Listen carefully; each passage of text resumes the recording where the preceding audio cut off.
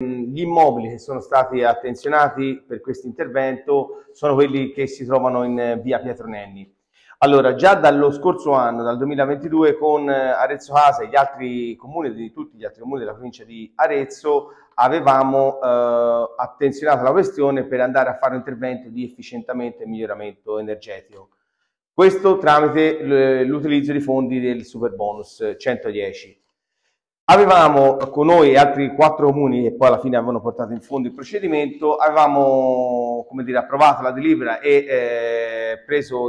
e adottato il protocollo d'intesa in data 16 febbraio. Poi il 17, come sapete, il 17 febbraio il, gli incentivi per il, bonus, per il super bonus 110 sono venuti meno perché il governo non li ha voluti appunto riproporre, eh, salvo poi modificare ancora la norma successivamente, ma non avevamo più i tempi per poter ancora una volta modificare la programmazione e quindi abbiamo dovuto come dire, dal 17 febbraio modificare gli interventi eh, da fare all'inter all'interno degli immobili di via Petronenni. E qui abbiamo deciso di rifare le coperture dei due, dei due blocchi, dei due blocchi di, di immobili e eh, con quest'anno inizieremo una parte degli interventi e l'anno successivo la, la, il, restante, il restante blocco.